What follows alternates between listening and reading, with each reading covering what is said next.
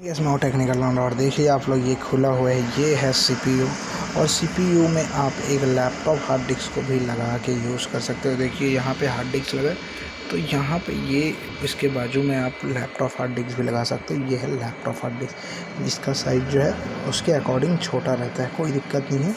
इसका केबल जो कनेक्शन होता है, उसका साइज़ तो कम से कम वही है ना? तो उसका, अपने को केबल से मतलब साइज़ से उसका कुछ अपने को मतलब नहीं है। तो उसको आप